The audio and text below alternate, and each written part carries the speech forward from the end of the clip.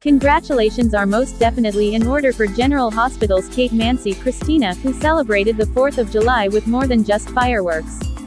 The actress shared a photo on her Instagram stories showing off a gorgeous emerald cut diamond ring with just the caption, LGM Addie. Confused? Well, Let's Get Married works perfectly as an acronym, especially when Mansi's husband to be is named Matt McGuinness. And in case that didn't get folks' attention, she went on to share brand new fiancé McGinnis Instagram post on America's birthday of the two of them celebrating out in gorgeous nature, writing, apparently today is a holiday, but I think July 3rd was even that, it seems, is the day Mansi said yes, and judging by the smile on her face in the photo below, it was probably one of the easiest decisions of her life.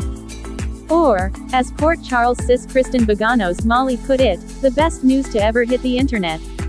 Exclamation mark. Mansi and McGuinness have been together for some time, and though the actress mostly keeps the relationship private on social media, the two have clearly been having the time of their lives, living, loving and traveling.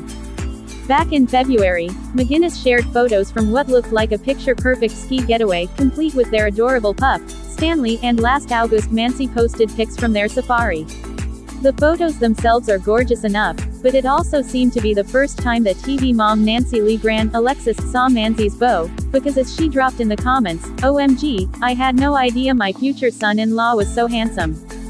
We definitely can't argue with that, but we also couldn't help.